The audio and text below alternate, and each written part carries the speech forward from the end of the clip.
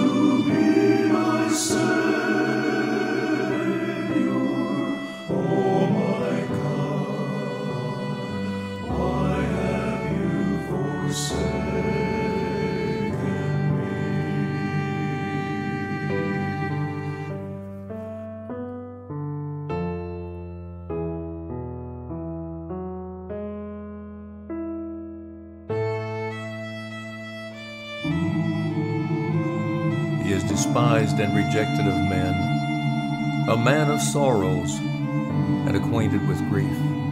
And we hid, as it were, our faces from him. He was despised, and we esteemed him not. Surely he has borne our griefs and carried our sorrows. Yet we did esteem him stricken, smitten of God, and afflicted. But he was wounded for our transgressions, he was bruised for our iniquities. The chastisement of our peace was upon him, and with his stripes we are healed.